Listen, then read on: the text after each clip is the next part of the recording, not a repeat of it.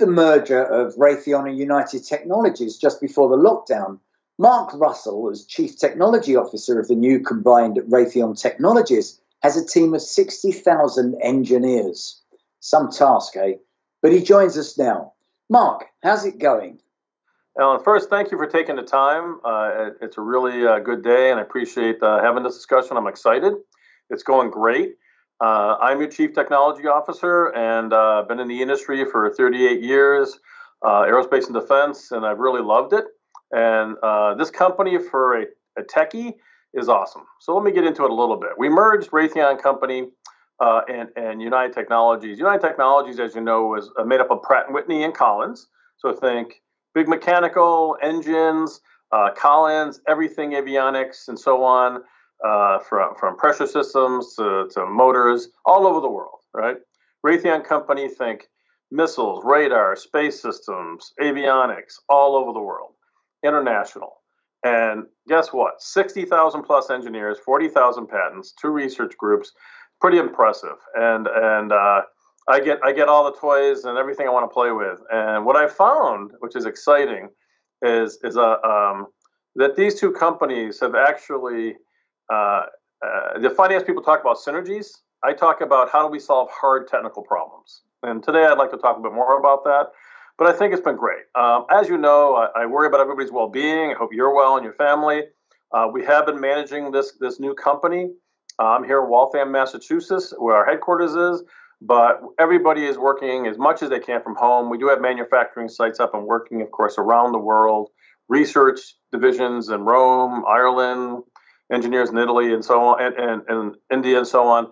But um, you know, it's a challenge. We're making it work. We're also being mindful uh, of everything going on in society today. So um, we got to make it work. And uh, the engineers are excited. The one thing you can all come together on is uh, how exciting we're. You know, half the company's engineers uh, the new technologies. So uh, think uh, big mechanical meets big electrical. Looking at an engine, I've never designed an engine before. First thing I did was ran down and to where they build the uh, new engines for Joint Strike Fighter or the commercial engines, and it's amazing some of the thermal problems they're solving just on the blades and the hot side. And guess what? We build hypersonic missiles that go a mile per second the temperatures get to amazing temperatures, and we got somebody who can solve the materials problems we have. And oh, by the way, we're pretty good at seekers and missiles, so it's a lot of fun. I'm looking forward to it. Well, I think as well, you've got that balance. You said mechanical and electrical, but there's also civil and defense, which for Raytheon is, is a much, much better balance. So, how are you finding having to integrate the civil business? Well, on the civil side, of course, uh, uh, because all civil or even commercial is a good way to think about it. Um, and you'll see that um, two things really come to mind. Um, I came originally from the defense side, uh, think Patriot system and so on. What I've learned is on the defense side, we design systems based on threats. How far can we detect something? What's a low observable? On the commercial side, it's a commercial pull. What are the things that they need from uh, energy efficiency to size and weight that will be a market pull where they can they can win in the marketplace with the right discriminators. So it's fascinating to see how we derive the technologies we need. We do end up with the same core technologies though, from additive manufacturing to power systems to thermal management. So it's interesting. The, the kind of power system you need for a directed energy weapon, uh, think megawatts, is the same system you need for electrification in planes literally the identical problems you're trying to solve at that component level, uh, uh, done in our Collins uh, Rockford plant, are helping both.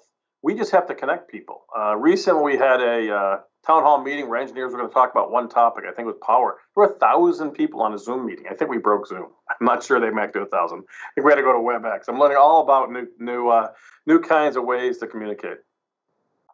So, Mark, what can we expect from the combined company to be different in terms of technological achievements? Well, I think that what's different is uh, we're not only going to have a more connected uh, uh, airspace, if you will, but more of a cyber secure. So you think you think in the old Raytheon side, you got Raytheon Technologies where they do actual cybersecurity as products and cybersecurity for our weapon systems. Well, connected airspace now has to be very cyber secured. So you're going to see uh, uh, connected uh, cockpits and so on, but more cyber secure, which is a big deal. I mean, really, uh, probably the ante to the game to playing in the civil side these days. Uh, secondly, you're going to see uh, um, the reliability and, and, and, mission assurance is still going to be number one. You're still going to have to have products that are reliable and affordable. And those are the kind of things that the, the civil side is really going to drive. You can't have failures, you can't have uh, reliability issues, and mission assurance is going to drive the whole company. But I think what we're going to learn a lot about is the affordability. How do we drive to a price point? How do we drive down the costs? And at the end of the day, um, when you look at some of the uh, civil side or what I call the commercial side, you're going to see that they've really become experts at hitting certain price points, which I think is awesome. And what about that? Is it on a global point? I mean, do you see there being a lot more going on around the world rather than all being centralized in the United States? Yeah, so great point. So, so you know, when you think about what's going around around the world and everything, you're going to see we're doing uh, technology and engineering, co-development. Uh, uh, engineers are in everywhere from India to Poland to Puerto Rico to to Australia. Uh, we did the Air Warfare Destroyer with a thousand engineers sitting in Adelaide. We have engineers in, in the Middle East. We have engineers in down the street from you in London, Alan.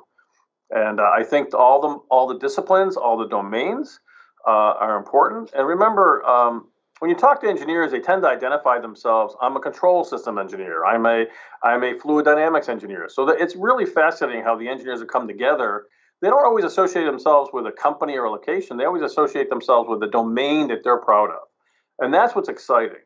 Is is because people want to solve that hard problem. If they can get help from somewhere else, the collaboration is amazing. And that's part of my job is to pull that thread across the company and make these connections. And as I learn everything about the company, uh, you know, it's amazing where from my office here I can talk to somebody in Rome who knows control systems who's going to solve a problem in control systems we have on, on a missile that has to travel, you know, at hypersonic speeds or something. They're pretty exciting. Uh, of course, we got to make sure everybody's uh, um, in the defense side stick to the ITAR compliance and the, and the classification. But you know what?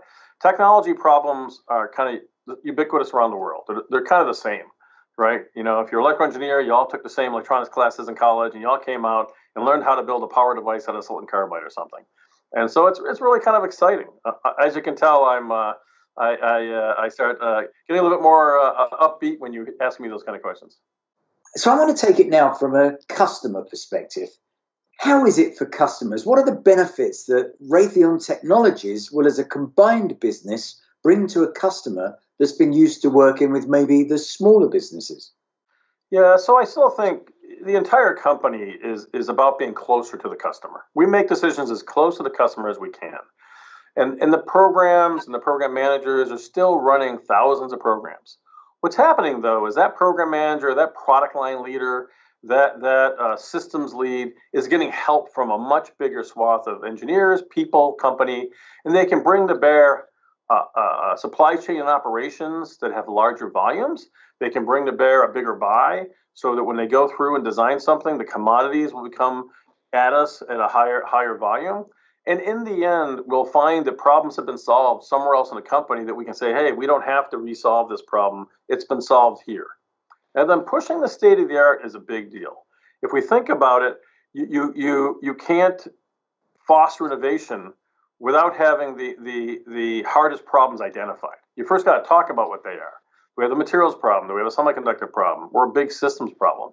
We got to share the problem, and then we got to have people work on it together. So uh, it's pretty amazing to watch this in only a few months. Pretty amazing to watch all the engineers get together and, and solve the problems. The customers are thrilled. The customers want to see the problem solved the, in the fastest way and, and actually the most affordable. Um, Greg Hayes, our CEO, tends to say I use my watch, not my calendar, when I think about schedules. And I think that's a great analogy. Uh, we're going to have to solve the problems in a very fast way because the world needs these problems solved. And culturally, that does bring quite a change because engineers generally think in silos. So, how do you see yourself encouraging the new technology thoughts to be shared on a collaborative type of basis? You know, that's a really good point. When you think about engineers, they tend to live in their silos. They tend to be, I'm a materials engineer. I've been doing this for 30 years. I've written papers. I have patents.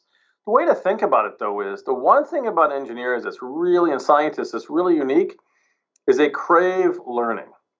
They want to hear about what someone else is doing that they respect, that are working in the field of the same stature that they are. Whether that whether that uh, engineer is working in London or whether that engineer is in Germany, wherever they might be, I find that the superstars, the technologists who are really the best of the best, they know each other.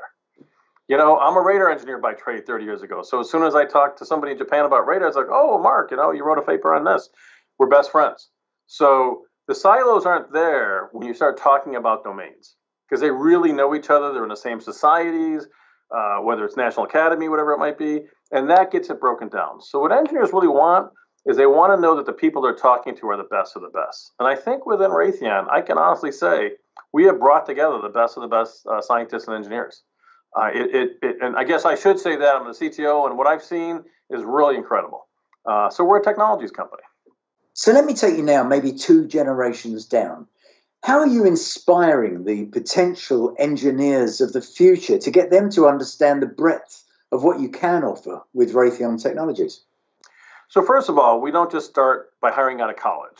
Uh, I was lucky enough to have the company pay for my master's degree. And we still pay for PhDs and masters in the domains we're interested in, from materials to radars and so on to all kinds of universities. So we not only work with the university to hire people, we do research at that university and we, we co-develop and bid programs with technology organizations like NASA or NSF or DARPA. So we're developing a relationship with the professors and the students right from the beginning. And we're giving those students the hardest problems as summer jobs, as working with professors on research, and eventually going on to whatever learning they're going to do. And by the time they've come in, I don't like to say this is the most important thing. I want engineers who want to solve the hardest problems. I know have a great scientist if I say this is a really hard problem. We haven't figured out how to solve it, and they never sleep. They're thinking about it every day. Saturdays they wake up and say, "I think I understand this." I want them to have fun working. It's a great company to work at, and it's a lot of fun. If you're testing a, a scramjet engine in a lab, you know where where it doesn't work right away, but you can solve it I, I started off my career working the Patriot system at White Sands Missile Range. Most fun I've ever had. Fly missile, fixed radars. We think that when kids come out of school, when, when they get done with some certain amount of college, seeing the practical application from designing a semiconductor to designing an engine, hot side, or an avionics system, it, it doesn't really matter what the exact problem is. When we put them in integrated product teams with mechanical, electrical systems, and they get to work as a team, I find that's the biggest unique thing about uh, uh, college students. They collaborate, they want to be on teams, they want to work together amongst the disciplines. They're just not sitting by themselves trying to solve a problem. So, this team thing and collaboration, despite the whole pandemic, is still happening. It's just happening in different mediums. But I think team is, is the way to think about engineers working together. So, Mark, finally, if we're looking into the future, give me an example of the future technologies that we're going to see, like AI and machine learning. What's it all about? Well, think of machine learning is, is an amazing new technology. We're just kind of hitting it at the very beginning. But think machine learning can do everything from help us with language translation for the warfighters or for anybody boarding a plane, all the way to at some point, once you start developing millions of lines of code, you can't all of a sudden have people writing the code and debugging it. You're going to have to have machine learning. And machine learning is going to help you solve very uh, large system problems. And you're also going to be able to get to a point where the machines start helping you making decisions with assisted decisions, not just you know by themselves, but you also want them doing the hard uh, uh, um, crunching, if you will, uh, through the data. And so you think big data, you think about everything from facial recognition to sorting out targets to to figuring out you know the airspace over the, the capital region these are things that humans can no longer look at a screen and figure out. So I think it's very exciting. And I think the winner in the future is going to be someone or some company that applies machine learning in a way that can most advance our products to the next level. And I think Raytheon Technologies is that company. That's a great insight. Mark, thank you very much.